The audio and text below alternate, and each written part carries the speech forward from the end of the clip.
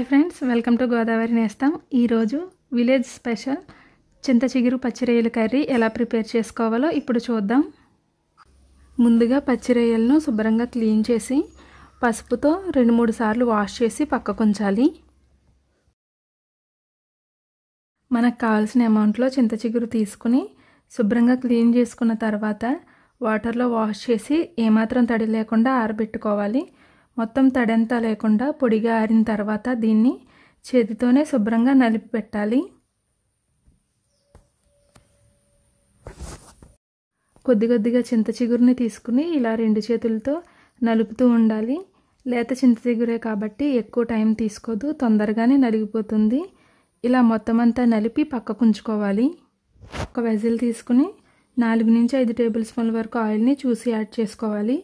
కొద్దిగా ఆయిల్ ఎక్కువే పడుతుంది కాబట్టి కర్రీకి సరిపడా యాడ్ చేసుకున్న తర్వాత ఆయిల్ వేడయ్యాక నాలుగు మీడియం సైజు ఉల్లిపాయలని అలాగే ఆరు నుంచి ఏడు వరకు పచ్చిమిరపకాయని చిన్నవిగా తరిగి యాడ్ చేసుకోవాలి. ఇప్పుడు ఈ రెండింటిని దోరగా ఫ్రై చేసుకోవాలి. ఇక్కడ తీసుకున్నవి చిన్న సైజు పచ్చిమిరపకాయలు అలాగే కారం కూడా ఎక్కువ ఉంటాయి.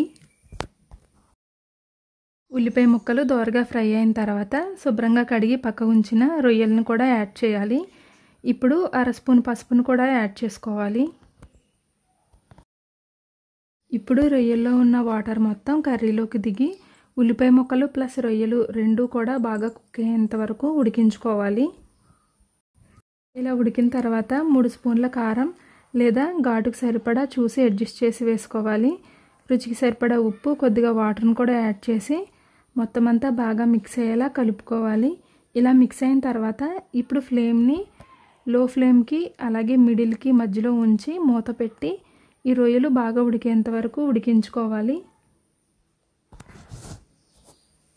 చాలా కొద్ది లెవెల్లో వాటర్ ఉండి ఆల్మోస్ట్ కర్రీ అంతా ఇలా దగ్గర పడిన తర్వాత మనం నలిపి పక్కకు ఉంచిన చింత చిగురును కూడా ఇప్పుడు యాడ్ చేసుకోవాలి.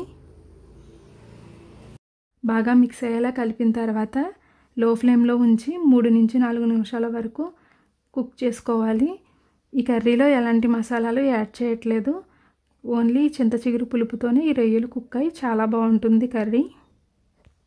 నాలుగు నిమిషాలు ఇలా ఉడికిన తర్వాత ఒకసారి సాల్ట్ చెక్ చేసుకుని కర్రీ రెడీ అయింది కాబట్టి స్టవ్ ఆఫ్ చేసుకోవాలి. ఎలాంటి మసాలాలు లేకుండా చాలా టేస్టీగా ఉండే చింత చిగురు స్పెషల్ పచ్చిరొయ్యలు చింత చిగురు కర్రీ రెడీ అయింది. దీన్ని వేడివేడిగా సర్వ్ చేసుకోండి. Thank you for watching